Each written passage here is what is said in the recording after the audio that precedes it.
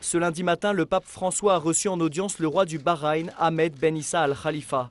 Les échanges ont permis de passer en revue certains sujets d'intérêt commun, en particulier l'engagement en faveur de la paix et de la stabilité au Moyen-Orient, mais aussi la promotion du dialogue et de la coexistence pacifique entre toutes les composantes de la société.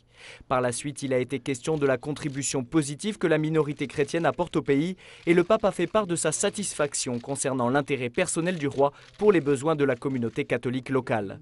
Le roi du Bahreïn a ensuite rencontré le cardinal Pietro Parolin, secrétaire d'État du Saint-Siège, en présence de monseigneur Dominique Mamberti, secrétaire du Saint-Siège pour les relations avec les États.